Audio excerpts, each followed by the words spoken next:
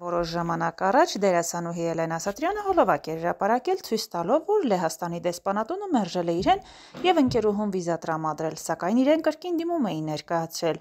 Այսօր դերասանուհին Instagram-յան իրերի story բաժնում տեսանյութ է տեղադրել հայտնելով, որ իրենց կրկին մերժել են։ Էլենը բողոքել է նաև դեսպանատան աշխատակիցների վերաբերմունքից ընդգծելով, որ վիզա տրամադրվել է այն մարդկանց, ովքեր երկրից փախչելու նպատակ են ունեցել, իսկ զբոսաշրջային նպատակներով մեկն էլ ցանկացող քաղաքացիների դիմումները մերժվել են։ Հրապարակված հոլովակին կից Էլենը գրել էր. «Անբարեհամբույր, անարդար, չհիմնավորված վերաբերմունք։ Եվրոպական ավելի մեծ պետությունների դեսպանատներն ավելի սիրալիր են, քան Լեհաստանինը, որ եղել եմ ու գիտեմ։ Եվրոպական գյուղ զուտ»։